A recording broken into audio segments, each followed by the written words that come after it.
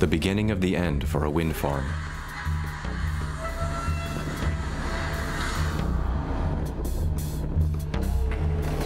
Wind power is an important tool for protecting our climate.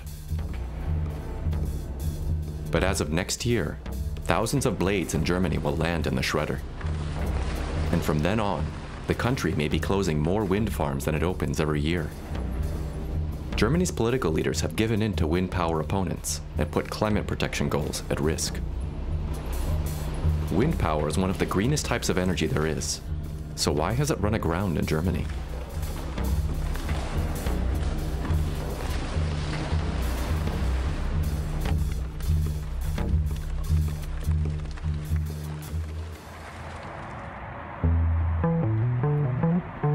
the A10 highway near Potsdam in northeastern Germany, where plans to build a wind farm along the motorway have been met with resistance from almost all the local villages. Except for Schwielowsee, The plan for expanding wind power is to put up seven, yes, seven, wind turbines in Ferch, which belongs to Schwielowsee. Today we'll be voting for the building contracts. Kerstin Hoppe has been the mayor of Schwielowsee for 17 years and has spent years campaigning for climate protection. The village is scheduled to vote on the seven wind turbines this evening. However, a flyer suddenly surfaces calling on residents to protest against the plan.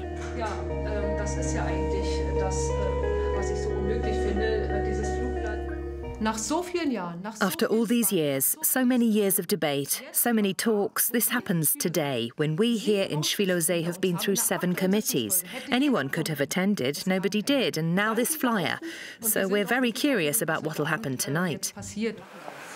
Three hours later, the wind opponents take up their positions.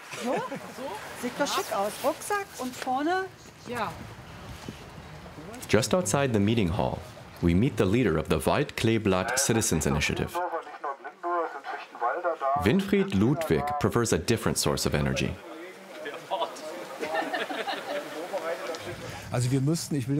I don't want to use that nasty word nuclear, but there has been a lot of progress in that area.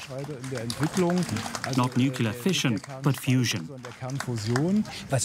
How would you feel about a nuclear fusion plant here? Unfortunately, we're not that far yet technically. We'd have to see. Getting acceptance is always a problem. No one wants to have that in their backyard. Whether it's wind power or nuclear, who wants to have that? In the end, we've all been programmed to want an easy to care for space. That's just how it is. So where should electricity come from? From coal. That's supposed to be eliminated by 2038. I doubt it. So we should keep the coal plants open longer. I'd say so. What about climate change? Is CO2 pollution the only thing ruining the climate? I don't think so. The session begins at 7 p.m. People have just been protesting outside. The tension in the room is palpable. After an hour long discussion, they vote. Everyone in favor, please raise your hand. Those against?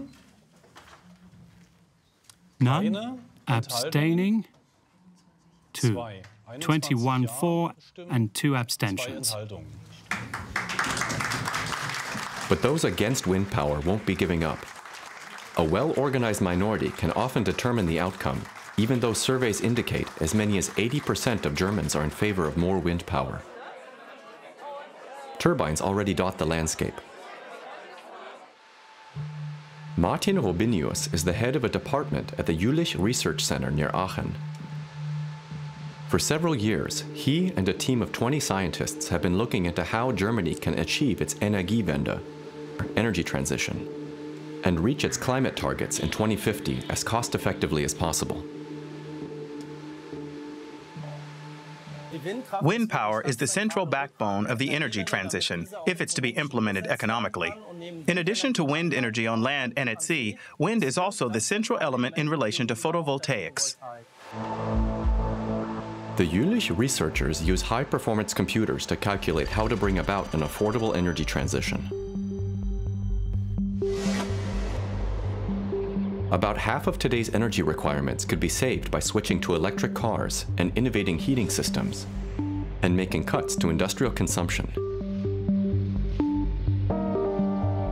The rest of the energy demand has to be met mainly by CO2 neutral electricity. This electricity is generated by offshore wind farms, biomass generator plants, solar cells, and above all, land-based wind turbines. To achieve this as cost-effectively as possible, wind turbines will have to supply more than half of green electricity in 2050, for which Germany would need around twice as many wind farms. The scientists' calculations show if less energy comes from wind farms, the climate targets will not be met, or Germany's energy transition will become significantly more expensive.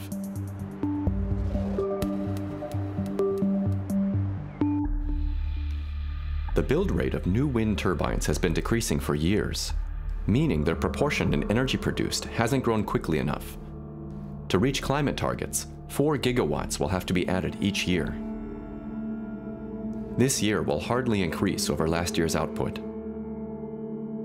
And more turbines may be taken off grid than added in 2021.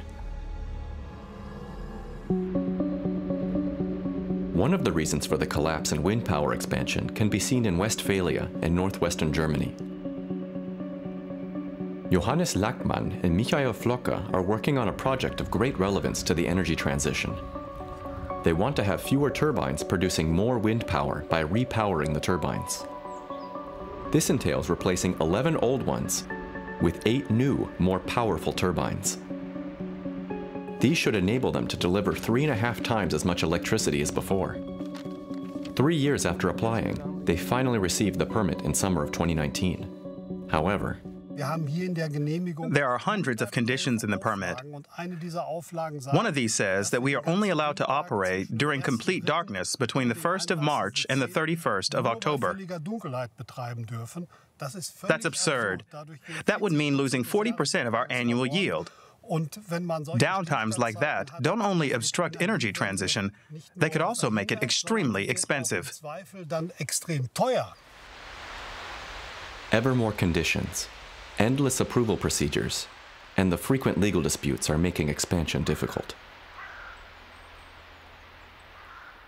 The daytime shutdown aims to protect local wildlife. The red kite is a common bird in the region and yet, the bird population here on the Paderborn Plateau has been stable for years, in spite of the wind turbines.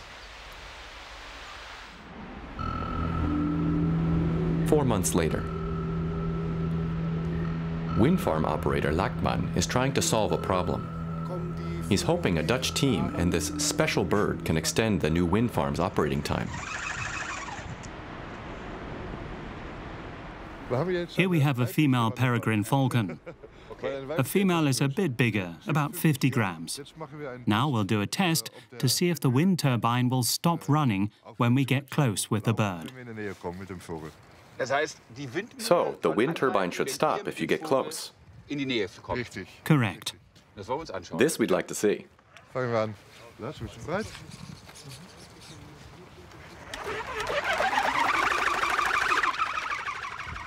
The RoboBird is normally used at airports to scare away birds that could disturb air traffic.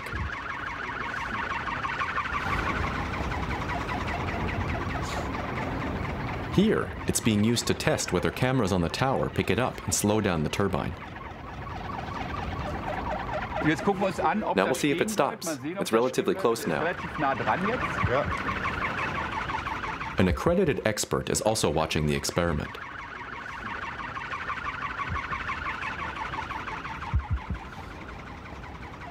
It's turning slower, right? Yes, definitely. What's important here is that birds can detect slow movement and avoid it. So we have to fall below a certain speed that birds can still recognize.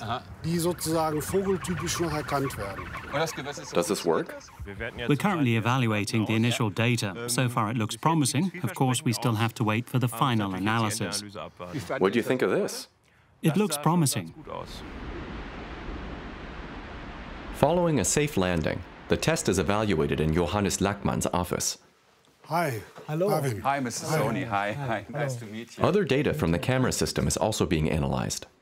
For a year and a half, the camera has scanned the sky for real birds of prey. Now it's time to find out whether the wind turbine has switched off each time. Our aim is to ensure that we can operate the turbines in the wind farm with these strict conditions economically by running them continuously and only switching them off when there are actually birds close by. The new technology could help solve the conservation and wind energy conundrum. You see the screen. The danger the turbines pose to birds is one of the most common reasons why people are against them. Captured by the camera. Bird conservation versus wind power. How do experts like Olaf Bandt see it? He's the chairman of one of the most important nature conservation associations in Europe, with the acronym BUND. His organization supported a project in the region where a dike was moved a few hundred meters away from the river. This created new habitat, also for endangered species. There's a sea eagle over there. I bet it'll land on an oak. Its wingspan is over two meters, up to 230 or 240. It's enormous. Fantastic. And they breed on the other side? The number of bird couples breeding here has almost tripled. In addition, it's become an important place for wild geese and cranes to roost.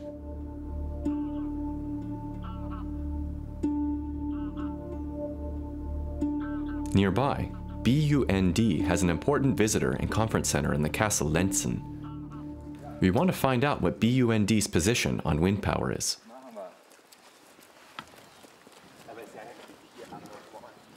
The big problems for birds come from industrial agriculture on fields and meadows.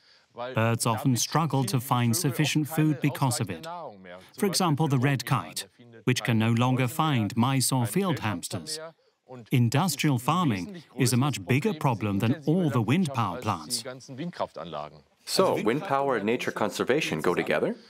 They can go together if you put the wind farms on suitable, carefully selected sites, and you ensure that the conflicts are minimized even further in future, for example through shutdown and warning systems. So, wind power and wildlife preservation can coexist. The number of red kite breeding pairs has increased in Germany since 1994. And this during a period when wind power was being massively expanded. Nevertheless, citizens' initiatives often use the red kite as a reason to oppose wind turbines, which they describe as bird shredders. For many, the preservation of the landscape is actually what's at stake. Here, in the Münsterland region, there are more than 300 active wind turbines. These were put up without lengthy approval or legal proceedings. Some of them are only a few hundred meters away from houses, such as here in the village Neuenkirchen, which is part of the Steinfurt district. Residents here can participate directly in so-called citizen wind farms, For Mayor Franz Müllering, it was important that locals were included in the planning process from the beginning. Miss Bonatz, what's living with the wind turbine like for you? You've been doing that for a while now. I actually like the view. I like the spinning rotors. Now and then there's some noise, depending on how the wind is, but generally I like living with them. Here in the Steinfurt district, there's an agreement that wind farms shouldn't be for financial investors, but for the local people. I can participate in the financing. Or, if there are problems, I know the people to whom I have to go and say that something isn't working. Citizen financial participation. Contact people you can actually meet. Additional business tax revenue for the district. Do such measures increase the acceptance of wind farms? We went to the weekly market in Neuenkirchen to ask. What do you think of the wind turbines here? I like them. They don't bother me. What about subsonic noise? I live here in Neuenkirchen. I don't hear them. I think wind power is very good. I live in St. Arnold. We look out on the whole spread. Yes, of course you can hear them. You can hear them. Does that bother you? There's a nuclear power station in Lingen, so I find the wind turbines better, and they belong to the region. Also in the Münsterland region, the municipality of Schöppingen. Friday afternoon in the local supermarket car park, we ask what people think of the many wind turbines in the region. There are also some where we live. They don't bother me. On the contrary. I don't really mind them. Okay, so not too loud? No. And what's the atmosphere like in the village? Does it bother the people who live close by? Not that I've heard of. Thanks, have a nice weekend. The result after two hours? We spoke to 31 people and got 31 positive comments. We are amazed by the unanimity. In the nearby Schöppinger Berg wind farm, the closest turbine is only 600 meters from the edge of town. There's an extraordinary meeting of the wind farm shareholders. Managing Director Heiner Konert explains the project. A hot topic is the federal government's planned distance regulations. In the future, the federal states should be able to prescribe a minimum distance of 1,000 meters from residential buildings. It's a thousand meter radius. You see here, the site would be gone. The site, the location, it would be gone, all of it. That will mean the end of Schöppinger Berg's 30-year history, with its use of wind energy. All history. Uh, above all, the acceptance is there. We have not had any problems with residents. And now all of a sudden, everything is being ruined. It's incredible. Do the politicians realize or even recognize what they're destroying? The planned distance regulation is actually aimed at increasing the public's acceptance of wind turbines. But even in the Steinfurt district, which is fully behind wind power, it will probably lead to a drop in wind power generation. The Federal Environment Agency says it would also make expansion throughout Germany more difficult.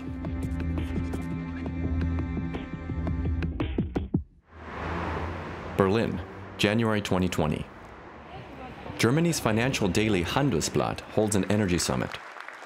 Like many in his party, the CDU, Energy Minister Peter Altmaier supports the controversial 1,000 meter option. But even though the deal seems bound to go through, he says he can see the opposition's point. If you've got a field where you can put a windmill, you'll find it all very cozy because the lease brings in money. And if you have a house that looks out over the field, you usually feel it affects you and you're inclined to join citizens' initiatives. Small but well organized citizens' initiatives can make a big impact. But the broad public support for wind energy still plays little role in his calculations. 70% of our primary energy needs are imported, and anyone who says we should change this in the future must also say where the land is to come from and how the expansion should be carried out. But where we import oil and gas today, coal and nuclear fuel rods, we will import more green hydrogen in the future. Import green hydrogen. That's what the federal government's response to the sluggish expansion of wind power is. It means the biogas, solar, and wind power plants that meet the majority of Germany's energy requirements in the future will be located outside the country. They'll be located in countries that currently produce oil, for example, such as on the Arabian Peninsula.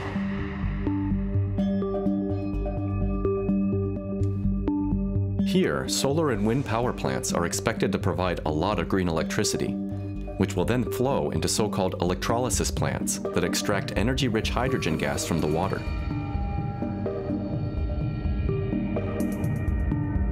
This green hydrogen would then have to be transported to Germany by ship in large quantities.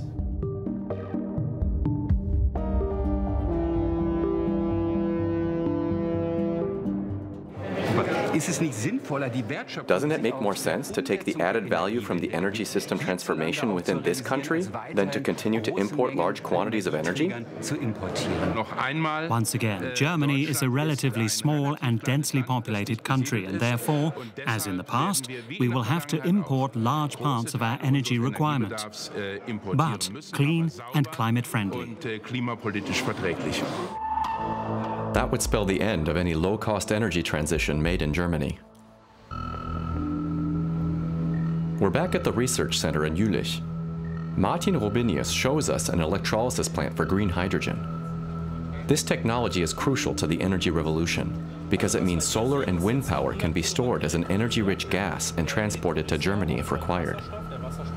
However, after converting the original green energy, the energy conservation rate is only 10%, not the 70% the politicians are touting.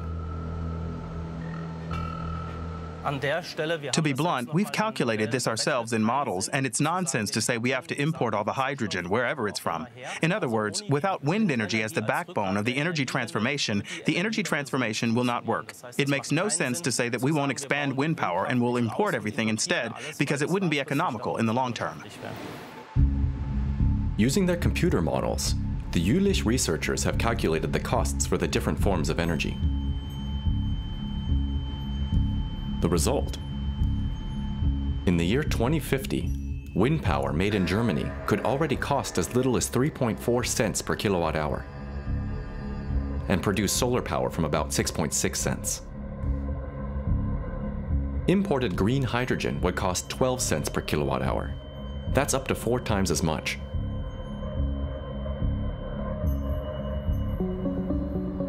When it arrives, the green hydrogen will have to be transported from some German port. Not like the solar or wind power already on the German power grid. Relying mainly on the import of renewable energies will significantly increase costs for both consumers and industry in Germany.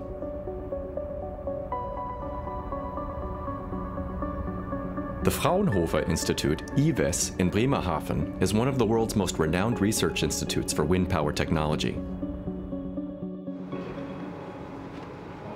In this hall, rotor blades more than 80 meters long are clamped onto a concrete block and then tested for durability.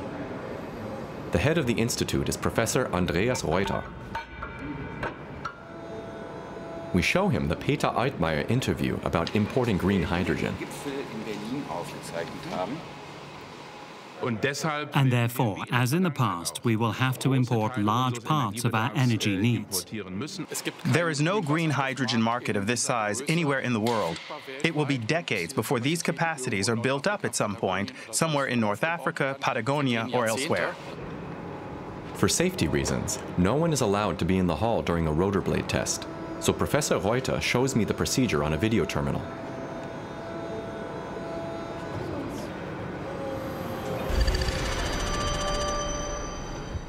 One ton of force is applied to the rotor blade, making demands on the blade that are higher than an aircraft construction and more comparable to spaceflight. In practice, they will have to function for years without much maintenance. Wow. So how many research laboratories like this are there? Three in the world. Three in the world. These and other technologies developed in Germany mean that wind turbines made in Germany are now fully competitive with conventional power plants. Does it make sense to not use it in Germany? First of all, we have to finance everything, finance the whole development. If we pull the plug now, we destroy the value of what we've created, and they'll be picked up abroad, by China, but also abroad in Europe, and we are left with the bill. We're in the industrial area of Bremerhaven. The slump in the wind power expansion has left its mark. Four companies used to manufacture wind power plants here.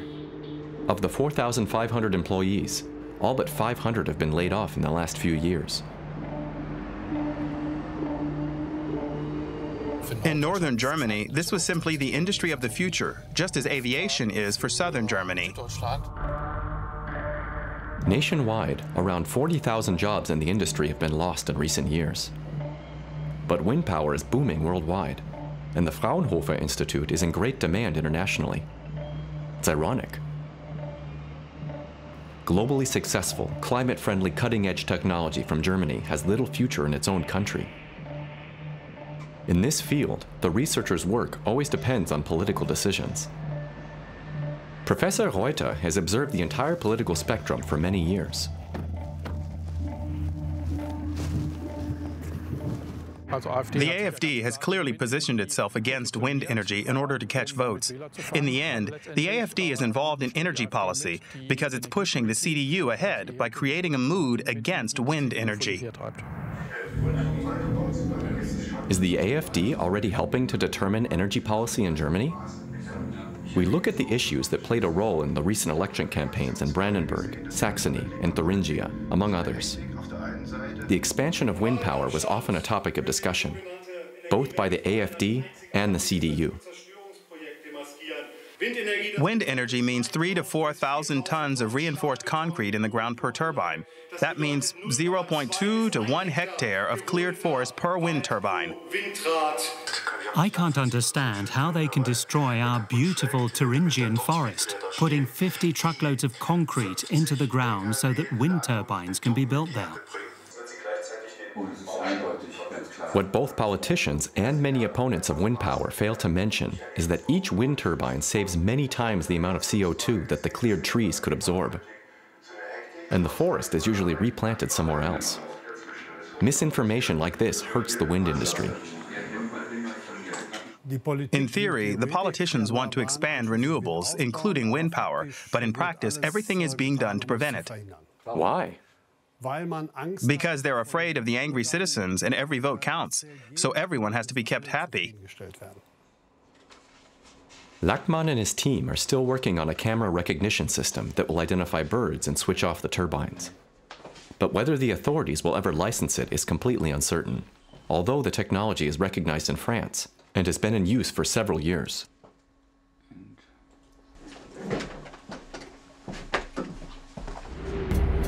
In the district of Steinfurt in the Münsterland region, production for about half the plants will soon cease. Then they will have to be repowered, i.e. replaced by new ones. Whether this can be done while still complying with the 1,000 meter distance rule is questionable.